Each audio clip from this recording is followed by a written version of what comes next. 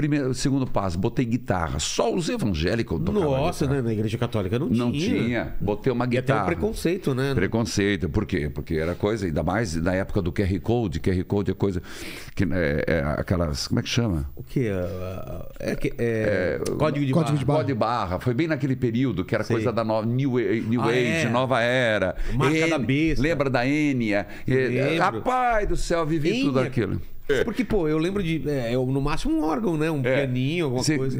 a- quando eu botei a guitarra, o povo se Nossa. revoltou. Aí botei bateria.